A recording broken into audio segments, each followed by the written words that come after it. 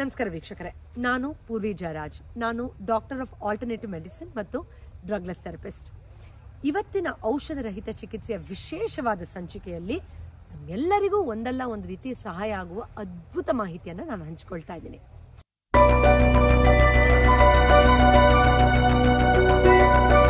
ಬೇಜಾರು, ಬೇಸರ, ಇನ್ನೊಂದು ಹೆಜ್ಜೆ ಮುಂದಕ್ಕೆ ಹೋಗಿ ಖಿನ್ನತೆ ಅಥವಾ ಡಿಪ್ರೆಷನ್ಗೆ ಎಷ್ಟೋ ಜನಕ್ಕೆ ಟರ್ನ್ ಆಗುತ್ತೆ. ಅದನ್ನ ಅರ್ಥ ಮಾಡ್ಕೊಳ್ಳೋದಿರ್ಲಿ, ಅದಿದೆ ಅಂತ ಒಪ್ಕೊಳ್ಳೋಕ್ಕೂ ರೆಡಿ ಇಲ್ಲದೆ ಇರೋ ಎಷ್ಟೋ ಜನ ಇದ್ದಾರೆ. ಅವರಿಗೆ ಈ ಮಾಹಿತಿ ಖಂಡಿತ ಉಪಯೋಗ ಆಗಲಿ. ಇವತ್ತು ನಮ್ಮಲ್ಲಿ ತುಂಬಾ ಜನಕ್ಕೆ ಕಾಮನ್ ಆಗಿರುವಂತಹ ಒಂದು ಸಮಸ್ಯೆ ಬಗ್ಗೆ ನಾನು ಮಾತಾಡ್ತೀನಿ. ನಮ್ಮಲ್ಲಿ ಬಹುಪಾಲು ಜನ ಎಹ್ ನನಗಿದಿಲ್ಲ ಅಥವಾ ನನಗಿದು ಇರೋಕೆ ಸಾಧ್ಯ ಇಲ್ಲ, ಇದೆಯೋ ಅಲ್ವೋ ಗೊತ್ತಿಲ್ಲ ಅನ್ನೋ ದ್ವಂದ್ವದಲ್ಲಿರ್ತೀವಿ. ಅದಕ್ಕೆ ನಾವು ಡಿಪ್ರೆಷನ್ ಖಿನ್ನತೆ ಅಥವಾ ಬೇಸರ, ಮಂಕು ಈ ಥರ ಬೇರೆ ಬೇರೆ ಹೆಸರುಗಳನ್ನು ಕೊಡಬಹುದು. ಖಿನ್ನತೆಯಲ್ಲಿದ್ದಾಗ ಮೊದಲನೇದಾಗಿ ಎಷ್ಟೋ ಜನ ಅದನ್ನ ಇಗ್ನೋರ್ ಮಾಡೋಕ್ಕೆ ಶುರು ಮಾಡ್ತಾರೆ. ಏ, ನನಗೆ ಅದು ಇರ್ಲಿಕ್ಕೆ ಸಾಧ್ಯ ಇಲ್ಲ. ನನಗೆ ಆ ಥರದ್ದು ಇದ್ರೂ ಇರಬಹುದು, ಇಲ್ಲಾಂದ್ರೂ ಇಲ್ಲ. ನನ್ನ ಮನಸ್ಸಲ್ಲಿ ಏನು ನಡೀತಾ ಇದೆಯೋ ನನಗೆ ಗೊತ್ತಾಗ್ತಾ ಇಲ್ಲ ಅಂತ ತುಂಬಾ ಜನ ಡೌಟ್ಗೆ ಸಬ್ಜೆಕ್ಟ್ ಆಗ್ತಾರೆ. ಈ ಒಂದು ಇಗ್ನೋರೆನ್ಸ್ ಅಥವಾ ಡೌಟಿನ ನಡುವೆ ಸಾಕಷ್ಟು ಜನ, ಅಯ್ಯೋ, ನನಗೇನು ಹೀಗಾಗ್ತಾ ಇದೆ? ನನ್ನ ಮೊದಲ ಥರ ಇಲ್ಲ. ನನಗೇನೋ ಆಗ್ಬಿಡುತ್ತೇನೋ? ದೊಡ್ಡದೇನೋ ಕಾಯಿಲೆ ಆಗಿದೆಯೇನೋ? ಅಥವಾ ಮಾನಸಿಕವಾಗಿ ವಿಪರೀತವಾದ ನಿಗೂಢವಾದ ಏನೋ ಸಮಸ್ಯೆಗೆ ನಾನು ಸಿಕ್ಕಾಕೊಂಡಿರ್ಬೋದೇನೋ? ಇದಕ್ಕೆ ಪರಿಹಾರ ಇಲ್ವೇನೋ ಅಂತ ತುಂಬ ಆಳವಾಗಿ ಚಿಂತೆಗೆ ಬೀಳ್ತಾರೆ. ಈ ಥರದ ಚಿಂತೆಯಲ್ಲಿ ಸಿಕ್ಕಾಕೊಂಡವರು ಚೈನ್ ರಿಯಾಕ್ಷನ್ ಥರ ಒಂದಾದ್ಮೇಲೆ ಒಂದು ಬೇರೆ ಬೇರೆ ಕಾಂಪ್ಲಿಕೇಶನ್ಸ್ಗೆ ಒಳಗಾಗ್ತಾರೆ. ಇವತ್ತು ಈ ಖಿನ್ನತೆ ಅಥವಾ ಡಿಪ್ರೆಸಿವ್ ಮೈಂಡ್ ಸೆಟ್ ಇರೋರು ಯಾವ ಥರ ವಿಚಾರಗಳನ್ನು ಕಾಂಪ್ಲಿಕೇಟ್ ಮಾಡ್ಕೊಳ್ತಾರೆ ಅನ್ನೋದರಿಂದ ಹಿಡ್ಕೊಂಡು ಇದಕ್ಕೆ ಯಾವ ಥರ ಸುಲಭವಾಗಿ ನಾವು ಪರಿಹಾರವನ್ನು ಕೂಡ ಹುಡ್ಕೊಳ್ಬೋದು. ಬನ್ನಿ, ಆಳವಾಗಿ ಅರ್ಥ ಮಾಡ್ಕೊಳ್ಳೋ ಪ್ರಯತ್ನವನ್ನು ಮಾಡೋಣ. ಸೊ ಈ ರೀತಿ ಚಿಂತೆಯ ಒಂದು ಪರಿಸ್ಥಿತಿಯಲ್ಲಿದ್ದಾಗ ವಿಪರೀತವಾದ ನೆಗೆಟಿವ್ ಥಾಟ್ಸ್ ನಮ್ಮಲ್ಲಿ ಇಂಟೆನ್ಸಿಫೈ ಆಗೋಕ್ಕೆ ಶುರುವಾಗುತ್ತೆ. ಇದರ ಹಿಂದೆ ಹಿಂದೆನೆ ಹಲವಾರು ನೆಗೆಟಿವ್ ಐಡಿಯಾಸ್ಗಳು ಜನರೇಟ್ ಆಗುತ್ತೆ. ಆ್ಯಂಡ್ ಇದರಿಂದ ತುಂಬ ಇಂಟೆನ್ಸ್ ಆದ ಇಮೋಷ್ನಲ್ ಬ್ಲಾಕೇಜಸ್ ಕೂಡ ಉದ್ಭವ ಆಗೋಕ್ಕೆ ಸಾಧ್ಯ ಇದೆ. ಈ ಒಂದು ಇಂಟೆನ್ಸ್ ನೆಗೆಟಿವ್ ಥಾಟ್ಸ್ ಅಥವಾ ನೆಗೆಟಿವ್ ಐಡಿಯಾಲಜೀಸ್ನ ನಾವು ನಮ್ಮ ಭಾವನಾತ್ಮಕ ಶರೀರದ ಮೇಲೆ ಎಕ್ಸ್ಪ್ರೆಸ್ ಮಾಡೋಕ್ಕೆ ಶುರು ಮಾಡಿದಾಗ ತುಂಬಾ ಜನಕ್ಕೆ ಅದು ಭಯದ ರೀತಿ ವ್ಯಕ್ತಪಡಿಸುತ್ತೆ.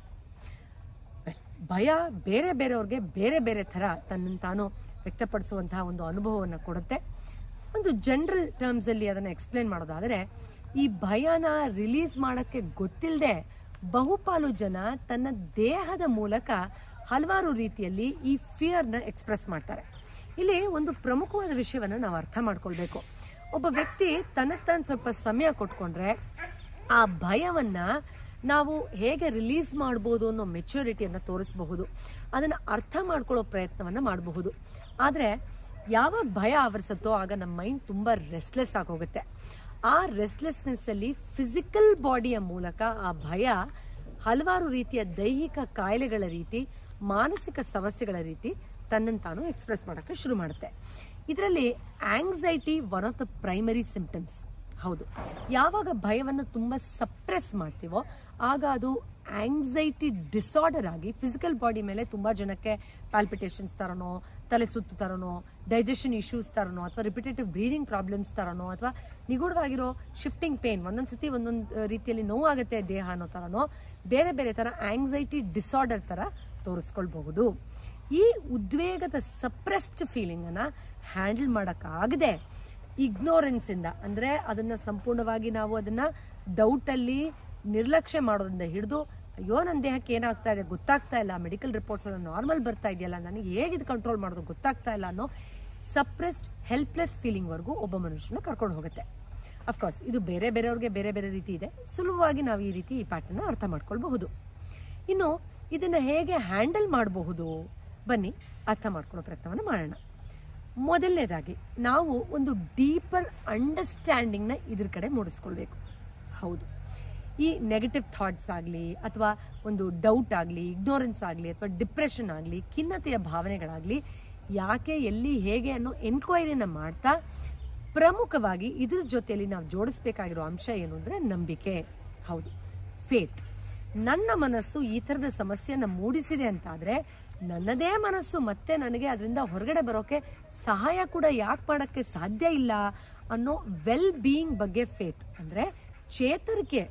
ಸಮಗ್ರವಾಗಿ ನಾನು ಅದನ್ನ ಚಿಕಿತ್ಸೆ ಕೂಡ ಮಾಡಬಹುದು ಮೂಲ ಕಾರಣವನ್ನು ತಿಳ್ಕೊಂಡು ನನ್ನ ಮನಸ್ಸನ್ನ ಸಣ್ಣ ಪ್ರಮಾಣದಲ್ಲಿ ನಿಯಂತ್ರಣ ಮಾಡುವ ಪ್ರಯತ್ನವನ್ನು ಮಾಡೋದ್ರಿಂದ ಅನ್ನೋ ನಂಬಿಕೆಯಿಂದ ಈ ಒಂದು ಹೊಸ ಜರ್ನಿಯನ್ನ ನಾವು ಇನಿಷಿಯೇಟ್ ಮಾಡಬಹುದು.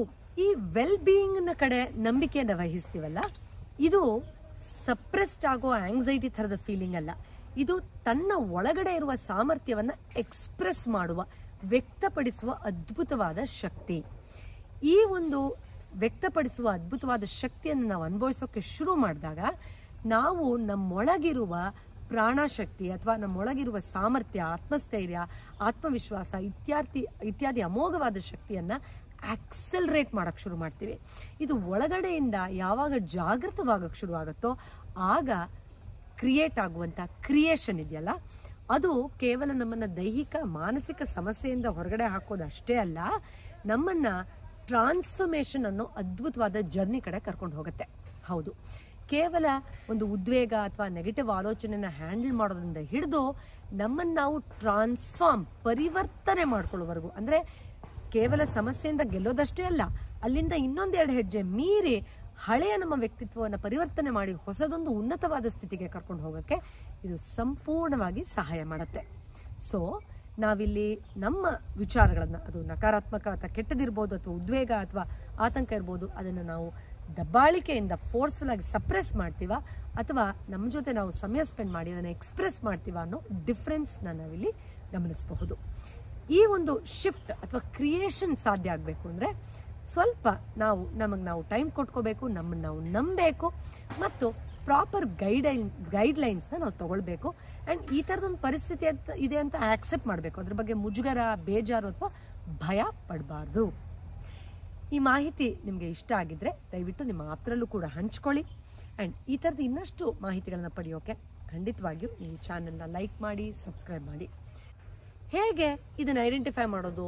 ಸಪ್ರೆಷನ್ ಇಂದ ಕ್ರಿಯೇಷನ್ ವರ್ಗು ಎಕ್ಸ್ಪ್ರೆಷನ್ ವರ್ಗು ಹೇಗೆ ಶಿಫ್ಟ್ ಮಾಡೋದು? ನಂಗೆ ಗೊತ್ತಾಗ್ತಾ ಇಲ್ಲ ನನ್ನ ಕೈಲಿ ಸಾಧ್ಯ ಆಗ್ತಾ ಇಲ್ಲ ಅನ್ನೋ ನಿಗೂಢ ಪರಿಸ್ಥಿತಿಗೆ ನೀವು ಹೋಗಿದ್ರೆ ನಿಮಗೆ ಸಹಾಯ ಆಗಬೇಕು ಅಂತಾನೆ ನಮ್ಮ ವೆಲ್ನೆಸ್ ಸೆಂಟರ್ ಅಲ್ಲಿ ಇನ್ಸ್ಟಿಟ್ಯೂಟ್ ಅಲ್ಲಿ ಸಾಕಷ್ಟು ರೀತಿಯ ಥೆರಪಿಗಳನ್ನ ನಾವು ಮಾಡ್ತಾ ಇದ್ದೀವಿ. ತುಂಬಾ ವರ್ಷಗಳಿಂದ, ಹತ್ತು ವರ್ಷಗಳಿಂದ ಸಾವಿರಾರು ಜನಕ್ಕೆ ಸಹಾಯ ಮಾಡಿದೀವಿ. ಅಷ್ಟೇ ಅಲ್ಲ, ಕಾರ್ಯಾಗಾರಗಳನ್ನು ನಡೆಸ್ತೀವಿ, ಉಚಿತ ಕಾರ್ಯಾಗಾರಗಳನ್ನು ಸಹ ನಡೆಸ್ತೀವಿ.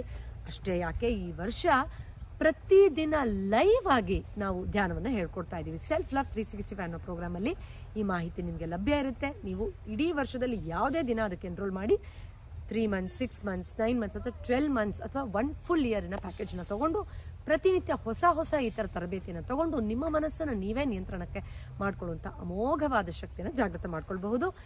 ಆಸಕ್ತಿ ಇದ್ದರೆ ಡೀಟೇಲ್ಸ್ ಡಿಸ್ಕ್ರಿಪ್ಷನ್ ಅಲ್ಲಿ ಕಮೆಂಟ್ ಸೆಕ್ಷನ್ ಇದೆ. ಇನ್ನು ಸಾಕಷ್ಟು ಈ ಥರದ ಮಾಹಿತಿಯ ಜೊತೆ ನಿಮ್ಮ ಮುಂದೆ ನಾವು ಪ್ರೆಸೆಂಟ್ ಆಗ್ತೀವಿ.